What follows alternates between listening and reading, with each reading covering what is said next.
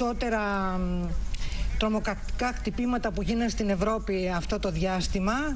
Ε, ο Μαριάνο Ραχώη βρίσκεται στο Προεδρικό Μέγαρο και, και, ε, παρακολουθεί την εξέλιξη της κατάστασης και τις νέες ε, πληροφορίες. Ναι. Επίσης η Άντα Κολάου η δήμαρχος της Βαρκελόνης είναι και αυτή μέσα στην διαδικασία το να μπορέσει να να βγει το αποτέλεσμα όσο πιο γρήγορα μπορεί για το τι συμβαίνει. Λοιπόν, βλέπουμε εκεί οι αρχές στην ε, Ισπανία και από την κυβέρνηση αλλά και από τους Έχουν τώρα συσκέψεις επανωτέ, όπως καταλαβαίνεις, για να μπορέσουν να βγάλουν ένα συμπέρασμα, να κάνουν επίσημες ανακοινώσεις.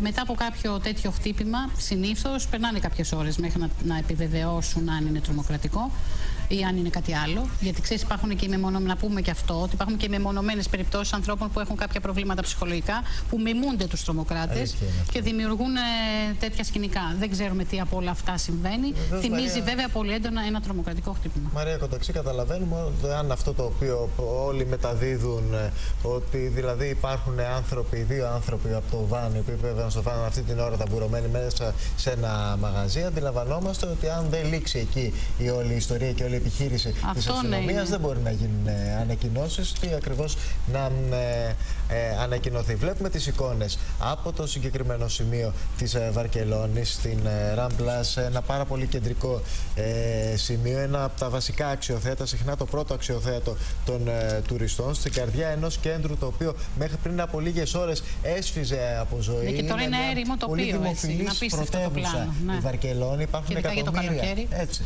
Είχαν πρόβλημα πολλούς τουρίστες, μάλιστα προχθές.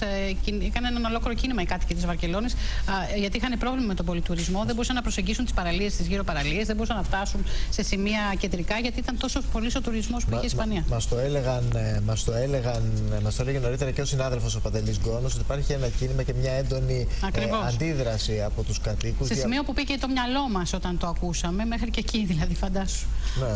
Λοιπόν, ε, να δούμε τι, ε, τι θα ε, αναφέρουν στη συνέχεια στις επίσημες ανακοινώσεις τους ή από την πλευρά της κυβέρνησης πια ή από την πλευρά της αστυνομίας. Θα δούμε τι θα αποφασιστεί ε, αρμοδίως να γίνει και από πού θα γίνει επίσημη ενημέρωση. Μέχρι αυτή την ώρα, το μόνο που έχει επιβεβαιωθεί να υπενθυμίσουμε επισήμως είναι ότι υπάρχουν νεκροί, υπάρχουν και τραυματίες, αλλά δεν έχει γίνει ε, επισήμως αναφορά στον αριθμό των νεκρών και των τραυματιών. Τα μέσα τα ισπανικά αναφέρουν ότι είναι δύο οι νεκροί και 20 οι τραυματίες. Ναι, και το μόνο που βεβαίωσαν ήταν ότι υπάρχουν νεκροί. Με μεγάλη, αυτό είπαν οι Με μεγάλη ακριβώς ασάφεια. Μόνο αυτό. Το μόνο ακριβώς ναι, ότι υπάρχουν ε, νεκροί. Πάμε στον Παντελή τον Κόνο, Μαρία Κονταξέ. Ναι, ναι, ναι. Παντελή, έχουμε κάτι νεότερο; Δεν έχουμε κάτι νεότερο για να συμπληρώσω όμως ε, σε αυτό που λέγατε, ανεξάρτητα από το ποιο είναι τελικά το κίνητρο ε, αυτής της επίθεσης, βλέπουμε ότι έχει εδρεωθεί για τα καλά ο τρόπος με τον οποίο το Ισλαμικό κράτος έχει ζητήσει από τους υποστηρικτές του να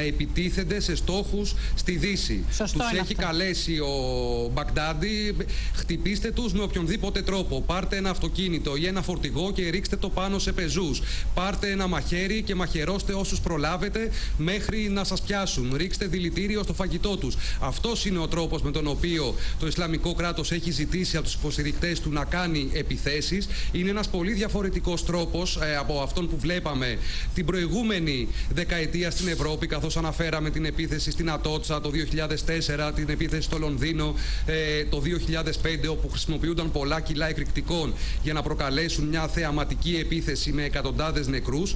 Έχουν βρει ε, οι τρομοκράτες αυτόν τον τρόπο πλέον, ο οποίος είναι πολύ πιο φτηνός τρόπος, χρειάζεται πολύ λιγότερη και πολύ δύσκολο να τον εντοπίσεις. Και σχεδιασμό έτσι. και για εντοπισμό βεβαίως να τους εντοπίσει. Γιατί ο καθένας παίρνει ένα αυτοκίνητο και κυκλοφορεί. Οι τρομοκρατικές υπηρεσίες. Παρ' όλα αυτά, ο βαθμός του τρόμου παραμένει ίδιος. Βλέπουμε τον πανικό που έχει προκληθεί αυτή τη στιγμή στην Βαρκελόνη και σε όλη την Ευρώπη βεβαίως, καθώς παρακολουθεί αυτές τις εικόνες και καθώς πολλές ευρωπαϊκές πόλεις έχουν αντίστοιχες μνήμες τους ε, προηγούμενους μήνες.